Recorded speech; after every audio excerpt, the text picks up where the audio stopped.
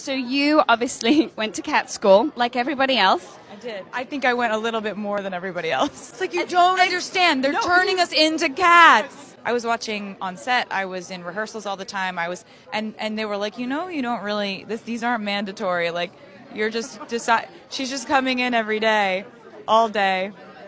Like, I think they were like, what do we do with her now? Yeah, she's still there. She's saying she wants to do cat school again. What do you think Be- Benjamin Meredith and Olivia are going to say about your First of all, performance? thank you for remembering my cats. It's really beautiful. Um, they are not going to care. They don't care about anything I do. It's amazing. They don't care. That's the thing. I was like, "What do you guys think? Drop a song? No?" And they were just like, "But you know, you can't spell cats without ts." So Okay, for cat owners at home, you should have hit me for that. You should have just been like, "Don't say stuff like that in public." Why? I, I love it. We're all for it.